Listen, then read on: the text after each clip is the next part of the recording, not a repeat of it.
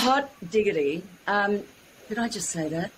My um, my interview subject today is uh, is a Hollywood hottie, a Hollywood heartthrob, and I remember uh, very early on when I arrived in LA, I went to uh, an Australian theatre company, now defunct, event, and I saw him across a crowded room, and I was like, "Holy heck, that's Martin Dingle-Wall!" I was such a fangirl. Welcome to Take Fountain. Uh, Ella, Ella, um, okay, firstly, let me echo all of that. I saw Ella across the room. I'm like, hot diggity. Um, thank you, man. That's my absolute pleasure. Um, so uh, you're somewhere on the coast of Australia at the moment. You're clearly at a beach for the day. Thank you for bringing that into our world. It's almost like part of the package right, now. Right. how, how important is that to um, for you to connect with nature, like on a regular basis? Oh my god! Oh my god! I mean, you know, even, even if you approach it just from science with regards positive ions, and, you know, and, and, and replenishment, but for me as a water baby, it's I'm born and raised in Bondi Beach. You know, I've, I've got that level of privilege in my life. I mean, in the 70s it was a ghetto, but um, you know, this is um, you know, I run I run my business out, out, out of paradise now. You know, no regrets about eight years on the on the cement grid in LA. That taught me everything. Um, but now we get to yeah, do this. Yeah, I mean, this is an international audience, but to Australian audiences particularly, you are known for Home and Away, Satisfaction, um, Rescue Special Ops, which is which is where you know I got into your work. So, so what the, what Right. was it that brought you to LA? Oh, um, I mean, it feels to me like it was a, a very organic migration. You know, I, I'd um, following, you know, Underbelly, Home and Away, Satisfaction, Cops LAC. Actually, after after Rescue, um, I did a, a series lead called Cops LAC, which just went one round.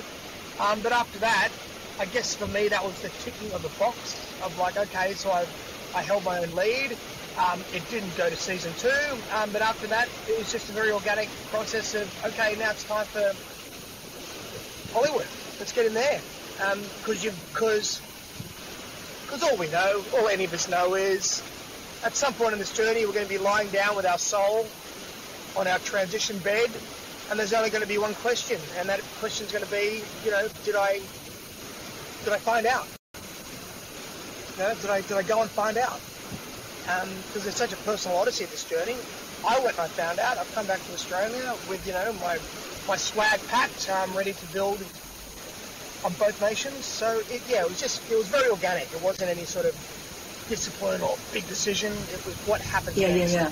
I think um, that notion of being, as we call it, bi-coastal, of being able to live in both countries, you know, uh, it used to be before COVID that all of the auditions that you did were in-person auditions, and now, of course, we're all doing self-tapes and sending them into the casting directors.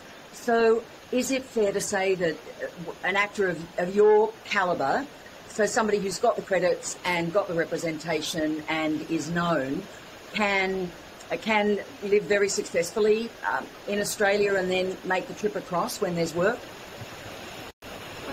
Oh, look, it, it, it, it has previously been absolutely like that. Um, I, I, as you know, they've got a few more patrol guards at the um, at the boom gates of America. For getting in and out is is a less fluid equation now.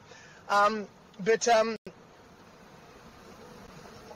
I, I certainly actually had, if you will, kind of a very clear spiritual sense in a way that when um, it was clear that I'd gone and gotten what I'd come for by whatever definition that sits in in LA, and it was also um, time to take my then four-year-old son back to Australia because his um, his mother and myself were very clear that we would do a few years raising him on the cement grid.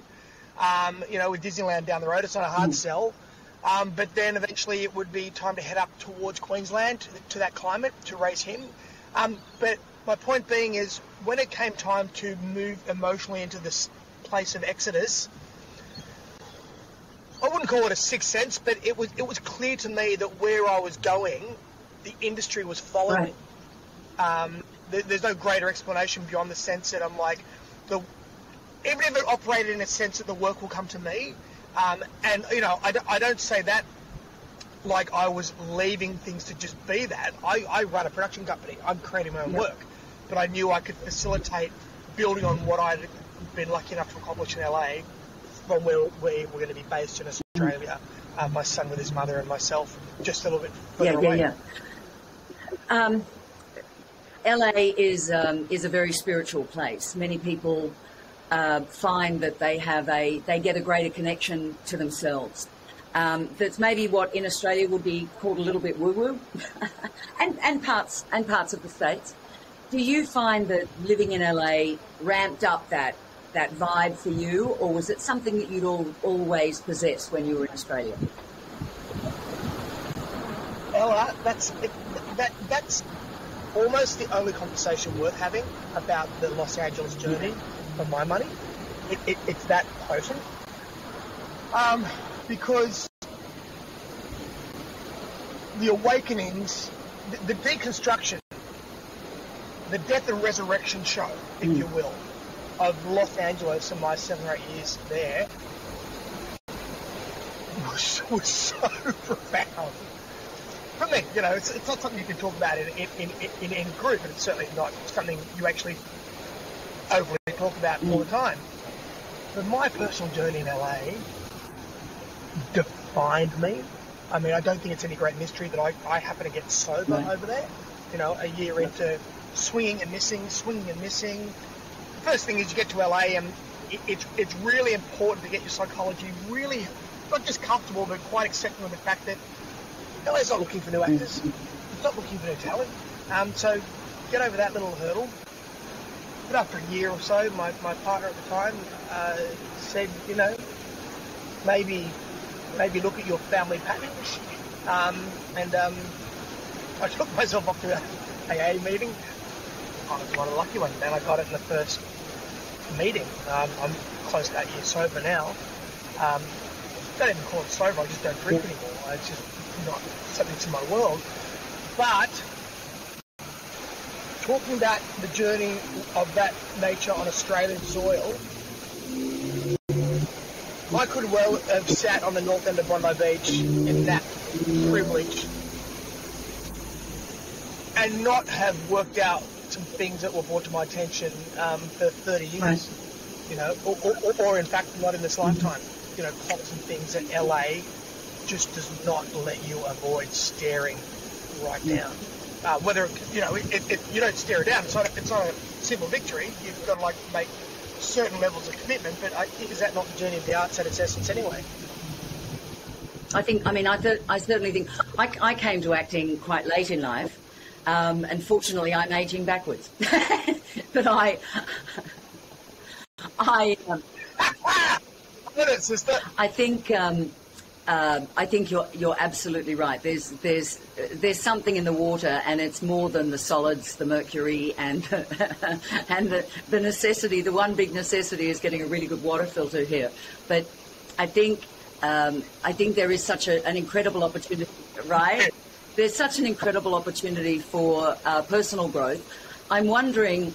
Um, how has that been back in Australia for you? Like, um, is that just a matter of your energy brings your own tribe to you, so it's not an issue, or have you come up against, um, um, you know, the odd person operating in an old paradigm, or your old paradigm, where you you had to have a conversation or had to walk away, or Okay, I, I think this is really interesting too because this part of a conversation really ignites me. Um, when people say to me frequently in the framework of what you just asked, you know, tell me about the LA journey, um, you only answer the people that really ask, but when they really ask, my answer is actually the Los Angeles journey comes down to the level of discipline you have regards joining only the talking circles that really resonate with you. Uh, there, there needs to be some kind of samurai level discipline because the, the first people that will invite you in to that community, because um, you know it, it, it, it's the world's biggest stranger mm. pond. No one from no one in LA is LA, from LA. Right. Right. So it, it, it is the world's biggest backpacker mm-hmm. hostel. And majority of those people are going there to either create a personality, identify a personality, have a relationship with themselves and work some stuff out, or um, keep running, commit to the demons, and you know join that other journey that LA is mm. famous for. But um, the personal journey for me was the, the, the, the, first few conversation groups you're going to be invited in on. I tend to find where the community is taking comfort in talking about how hard the town was because you know that's the collective agreement.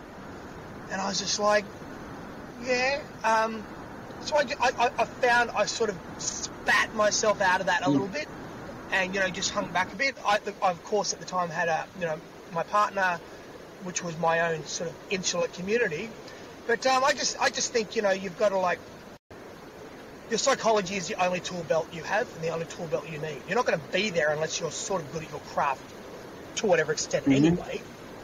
Um, so the, the greater part of the journey is, you know, wielding and, and, and, and defining and, and folding the metal on your um, on your psychology. And it's just like, I, and I think with LA, you just got to. I don't like the word tough it out because it's a dance. You know, the arts is a dance. dance but I think if you, if you, yeah, I think if you you really commit to the fact that you know you want to, maybe you spend the first few months just having a conversation with yourself. You know, about like learning and listening. But um, yeah, the, the circles of how hard it is can be very alluring because you know sometimes that's where the because majority of people in LA are not working and trying to work. And, you know, depending on their relationship in their chosen crafts, they're not working in their chosen craft certainly. To be more precise. Um, yeah, so I, I really think that, you know, LA comes down to, at least when we were there, because I don't know what it feels like now. I don't think people can sit around and talk in circles anymore. Um, so I think you know it's you know you, you, get strong by being a bit insular there, and then being really committed to your psychology. Yeah. But I do a lot of that application work. I'm into Abraham Hicks in a massive way, whether it be you know Eckhart Tolle, Dr. John Demartini, you know Wayne Dyer. I, I, I just that, that's my syrup. I pour that into myself. Yeah. You know, I drink my alkaline water. You know, sip of coffee, eat a bloody orange, and hug a tree. You yeah. Know a little one of these guys over here. So, you know, that, that's just that's just that's what I need to fuel myself to keep my psychology in a, in a really healthy yeah. zone. Um, because you know, I've met my psychology in an unhealthy zone um, and spent you know 20 years there. So and, I, I have a sense of the variation. I think what your story um, is talking to me about is the fact that uh, you know when I first arrived here um, my friends in Australia who are not in the acting game, or even some who were, were like, "Have you booked anything? Um, have you have you made it? I can't wait till you've got a, a, star on Hollywood Boulevard." It was oh, all of this kind of stuff, and I thought, I thought, wow, that's not that's not really what it's about. But I kind of don't want to have that big conversation with you because it sounds like I'm negging you. Um, but I wanted to talk to you about that notion of success because there can be a tendency to think, um, you know, you have to be a Chris Hemsworth or um, or a Margot Robbie, or um, I'm just choosing those as a male and a female to say define success. I mean, I had a conversation with a friend today um, who's defining herself by her work, and uh, and of course, COVID has changed a lot of that. So it's kind of like, well, who am I now? And, uh, and, I, and I had the conversation, said that I was going to be talking to you today. So let me ask you the question what is success to Martin Dingle-Wall? Oh, look, you know, I, I, I, think sort of as of eight years ago, close to eight years ago, which sort of my turning point on how you gauge anything, is, you know, isn't, isn't, isn't the bumper sticker now, you know, happiness is the new success? I mean, it, it, you know, as, as, as hokey and, you know, fortune cookie BS as that is, I just you know I, I don't think that's ever sort of changed because um, in the work itself, it's like it's it's my belief that the velocity of the courage you bring into your work comes down to the nature of relationship you have with yourself. If you know yourself well enough, you will go deeper into zones that other people might not go into and, and, and explore.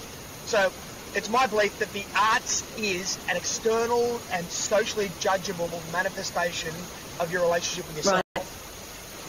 Right. Um, and in LA, it's a masterclass in managing your time, managing your resources, and managing the hell out of your energy. Mm-hmm. You know, your, your, your chi energy, you come to discover, is a finite resource because you tap on exhaustion and fatigue in LA. Like, while I was going for my auditions, you know, taking my path, and now I've got a beautiful little baby boy.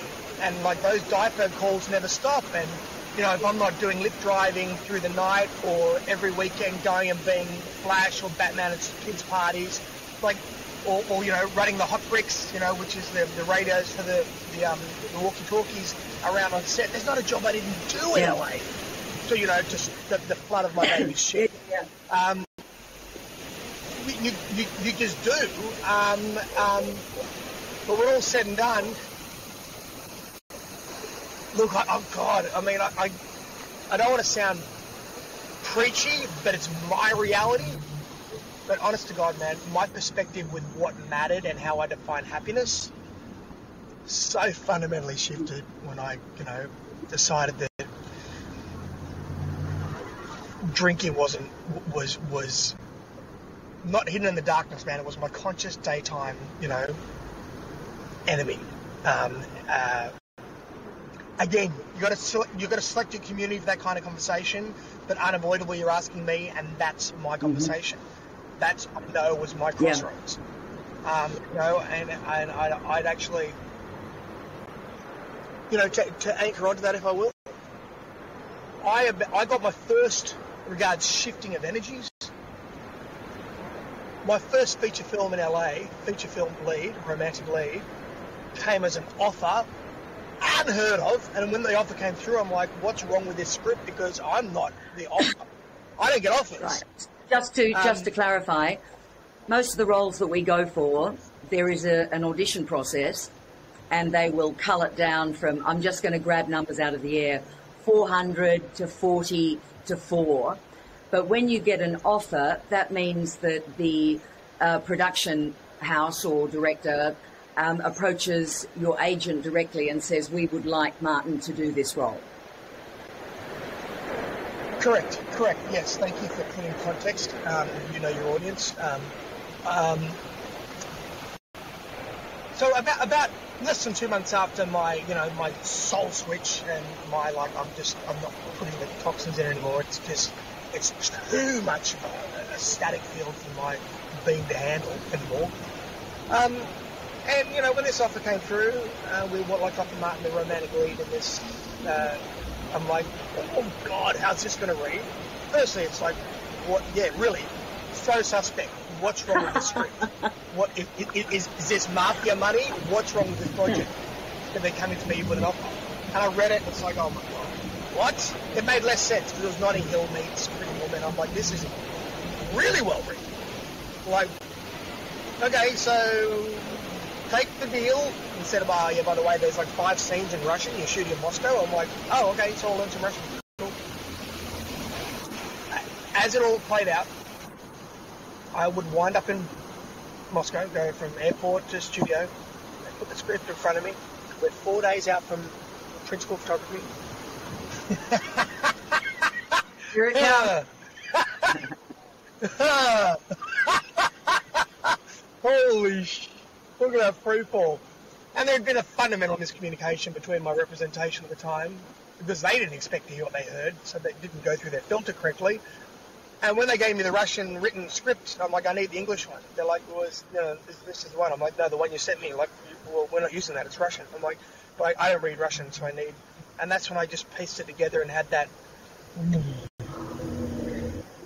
And um, we pieced together within probably two minutes that there are five scenes not in Russian. That I had signed on and had the money out of escrow in my account. Um, that was surely gone already. So you you were Uh, booked to shoot a film in. Did you have any experience of the language? Who does? Russians do. Uh, no, no. So yeah, I was there, and I'm just like I had that like explosion sickness. And, and was there a, was there a coach on set for you, or Oh, there, there was there was an old school um, uh, Chekhovian uh, linguist. We had a linguist. They're very trained people.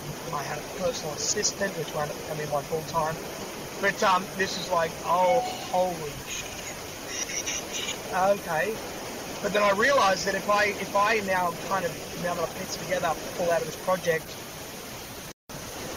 we got 100 people out of work because like it, it was just a, a, phenomenally and, and I and I mentioned this and I put it in the context of the of the journey because when I made that commitment to myself regards I just I don't want that junk anymore. I, I've got to take I've got to fix something up if I'm going to be an artist. I've got to like fix something up in me. Um, the gods would, would, would send me something that demanded that I activate so many parts of myself that were in the Shadowlands mm. like the, the extremity of what I had, had subconsciously willed into my experience. So then, you know, for the next 40 days, we're shooting a romantic lead, which looks stunning, and I'm playing a romantic lead in, you know, I got I, I got some words in there, but it's like, it, it was an out-of-body experience that demanded so much drop your bullshit um, that um, that was sort of like my first catalyst-driven experience into the world of clarity. that's ex- how, how long was the shoot? oh, like four weeks. And it was like, uh, we wound up going up in the hinterlands in a town called Myshkin on the Volga River in the five-week window that is not either rained out or under snow. Um, and, you know, it's on our prime, called all that jam. The movie I saw at the Russian Film Festival in Sydney, no less, was like, that's not the movie I shot. I don't know what. I, that, that editor I remember Tom Cruise saying that about Jerry Maguire. He's like, James Cameron, um, uh, no, no, no, not James Cameron, um,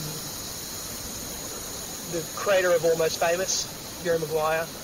Cameron Right. Crowe. Um, Tom was holding his Oscar and said, Cameron, um, that's, I, I don't, I didn't shoot that movie. I don't know what you did, but you found moments and performances you needed. I had the same experience, you know, in a cinema that no one else was in except a bunch of Russians. Which going, that's not the movie I shot. So, cinematographer, editor, director, bravo. Because I don't remember that. I don't remember that. Wow, that's a. So you've done a you've done a few things that are getting some attention here. It was great to see uh, Cypher. There were billboards all over town for Cypher, and I've got to tell you, I watched it, but I'm not good with scary stuff. Um, and just to give you an idea, I was watching Kate Winslet in Mare of Easttown on Sunday night on HBO Max, and I started off Right. bum on couch, feet on floor, and I wound up feet on couch, and then I wound up bum on back of couch, feet on couch, and then just covering my face going, no! And I had to stop it. Well, Pardon? it was yoga Oh, well, pretty much. I had to stop it 10 minutes before the end, and it was the same with Cypher. It was scary. But it's very much loved. It's great. And the other thing that I want to see that you've done is the dry. Um, was that shot here or in Australia? Yeah, well, I just want to clear up. I didn't really do the dry. Um, I, I, was, I was lucky enough to get a call from Rob um, Connolly just saying, I want you to pop back and do this. And it's like, uh, of course. Um, so that was like sort of my, that was in the Exodus period. So that was my welcome back to country, if you will, Right. movie. Um, so I went out there. I was only out on set for, you know, a few days. Um, and, and it just perfectly coincided um, with my move back to Australia. Um, um, so, sorry, the nature of your question, by the way, you know, it's just gone, it reached 20 million domestic box office, it's going on in the States. My name's coming up in Google alerts like a couple of times a day um, over the last week because, which means thank you, Eric, um, Bruna, Made Up Stories, Jane, uh, Rob, for putting my name in rotation in the States while right, this is happening. Bruna, Pap-.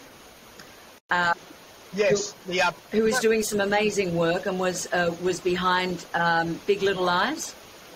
Um, and um, and also um, Eric, the Eric you referred to, Eric Bana, of course. Yep. Yes, yes. Thank you for the no, context. no, no. Yeah, I think we top 100 or top really 10 most influential um, content producers on planet Earth right now. So you know the Australians, once again, are cracking it. So what a phenomenal team. And of course, what a what a masterstroke by yeah, Rob. Yeah, just brilliant, just brilliant. So what? Yeah. So um, God, can I ask this question? What um, you're producing your own content? What have you got going on at the moment? Well, I've um, I've um, I've brought my work home with me. I, I previously ran a production company, Alchemy Film Productions, um, 15 years ago. Um, made the, um, as it were, Steven Soderbergh and Alchemy Film Productions in Australia went neck and neck to compete. It wasn't a competition. It just happened to, timing-wise, be that. The first feature film shot entirely on new digital technology called Red Camera. Yep. Um, but of course, you know, we didn't. We're excited to execute, but we hadn't done the all the groundwork because by the time we hit completion, the industry was still not equipped to screen digital right. movies, and to then transfer from digital to, to, to a, a, film reel was just nonsensical. Um, but you know, we went to Santa Barbara Film Festival. We got People's Choice Award, Audience Choice Award, did really well. Made infinitely good contacts, but no one saw it in Australia. Colin Friels, David Field, myself for the lead, Mark Fitzpatrick, writer, director. Um, so we did that. It's on Ozflix right now. Um, Ron Brown's operation. um, did I get that right, Ron Brown? Ozflix? Yes, I think so. Yeah. Um, um, so anyway, I then moved to America after that, did my thing, and I've come back and I've reset up Alchemy Film Productions to 2010 it got released, so 10, 11 years after the fact and I'm setting up a major TV series um, to be shot out of Queensland for the US market with myself in the lead and executive producer. You know, to um, to make sure that I can, you know, primarily be around my son who's six, um, and I don't want to. In the world of, of questionable border closures, I would not permit myself to be marooned abroad. Um, away from my son, so I'm you know creating content for the US market, creating jobs in Australia, mm-hmm. and making sure that um, you know I can take advantage of the platform that you know has been afforded to me through Cypher, um, and keep presenting content yeah. to the market, um, and you know that's what yeah. we do, right? Uh, look, I think. Um, I think at the beginning of the isolation, which for me started March 9 last year, I I was saying to my, you know, I've got my five, my fifteen, and my fifty, my my people, you know. So saying to the five, my oh, you you you you're, you're sharing circle circles. of yeah. So I've got the five, which are the five close friends, and the fifteen, and then the fifty, um, and then there's the the, the other suckers, right? um, the spillage. Yeah. So you know, I was saying, uh, I think I'm going to be I think I'm going to be very different coming out of this. Um, I don't know what it's going to look like. I don't know what it's going to be, but I think the world is going to be a very different place, and I think I'm going to be a different person. And and as it was, I was fortunate enough to get some scholarships to study with Eckhart Tolle and study with Loch Kelly and um, and do some pretty cool stuff and, and spend a lot of my time doing voiceovers in my studio, which fortunately is, is in my home and um, and right. doing self tapes and so on, um, but also spending a lot of time out hiking. So um, you know, masked up and off we go. Um, but you know, it was a it was a really interesting time. So I think um, I'm looking forward. We're opening up here on June 15. Um, I've yeah. been wow, double be- vaxxed. I'm I'm what's known as the mod squad. Moderna vax. but um, you know, it's been a very different experience here, you know, than it, than it was in Australia. Um, but I, I, I just think you know these are these are interesting times, and what you're doing is you're you're pivoting to meet to meet the need, as it were. You know, so because things are not the same as they were, purely and simply. Yeah, look, you know, Ella, it's it's it's a funny thing because you know in LA, you are spending so much of your you know life force. Um, using the audition framework to establish a reputation as a performer. Because um, you know they, they say to you, you know they, these casting agents sometimes need to see you for a couple of years to know that you're not an in yep. and out. Um, you know, I had um, so you know you, you, mostly it's you know sowing seeds. We know that the healthiest psychology you can take of an audition is you're getting an opportunity to present your work and build your mm-hmm. reputation. Mm-hmm. Um, let go of the idea of getting the job. You're just creating a relationship. And the auditions are the work, yeah. you know, and you just, this is what you do.